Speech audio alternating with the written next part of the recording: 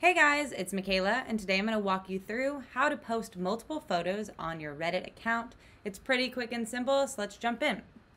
First, I am on my Reddit app on my iPhone, and the first thing you want to do is go ahead and hit this plus button in the middle of the phone at the bottom.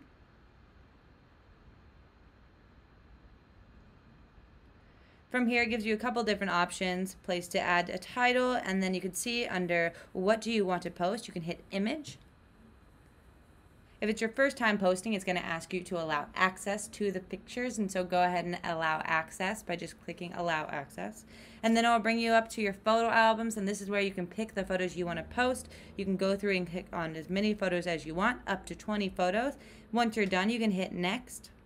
And then from here, you can go ahead and add it to captions or links if you'd like. I can, and then hit post.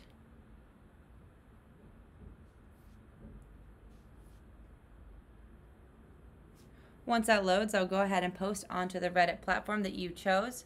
And it's that simple. If you guys have any questions on that, let us know in the comments below. If not, don't forget to like and don't forget to subscribe.